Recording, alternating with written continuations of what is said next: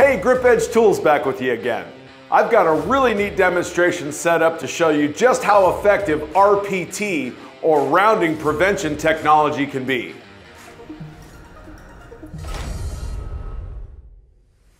Let me tell you a little bit about the demonstration we have today. On social media, I see comments all the time like how well does your tool work on red Loctite? And also, how well does the tool work on softer fasteners like aluminum? Well, today we're going to have a look at both of those questions. In front of me, I have an electrical aluminum block. And in that block, there are two 3 16 hex head fasteners. As you can see, I've red Loctited both of those in and they've had overnight to cure. They should be good and tight. We're gonna use both of our tools, the standard conventional on one side and the RPT on the other. Let's see which one does a better job. Here are our tools. We'll set those right there. We'll take the block and we'll go ahead and drop the block into the vise. Now I'm gonna be using a torque wrench to measure how much torque it takes to crack these loose. I'm interested to find out. These should be pretty tight. So we're gonna go ahead and take our torque wrench. I've set it to 70 foot-pounds. I have no idea if that's how much it's gonna take to get this done, but I figure it shouldn't take more than that, but it'll register it if it does. So let's go ahead and try the standard conventional one first. We're in, and in the loosening position, let's give it a try. See where we are. I am already at 15 foot-pounds, 17. It actually rounded that aluminum lug out. I'll go ahead and go back the other way. I'm free spinning. So at about 17 foot-pounds, it rounded that out. Let's go ahead and pull that out of the vise and just have a good look at that. Can we see that? How that rounded that out real good? Well, I gotta be honest with you.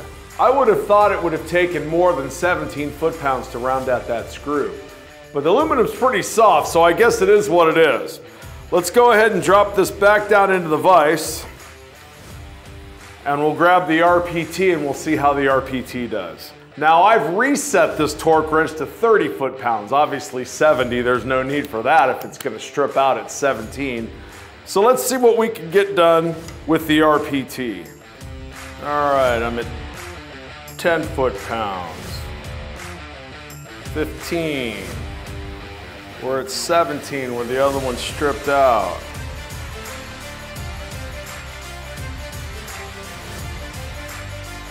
And it looks like it's actually gripped it and it's getting it out of there.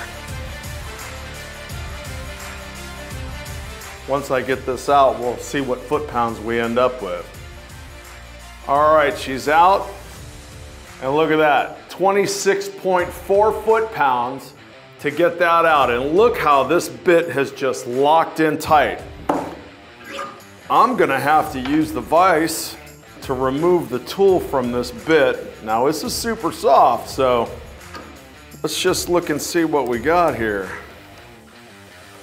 We'll back it off and you can see down in that cavity how our tool actually made its indentation into that soft metal.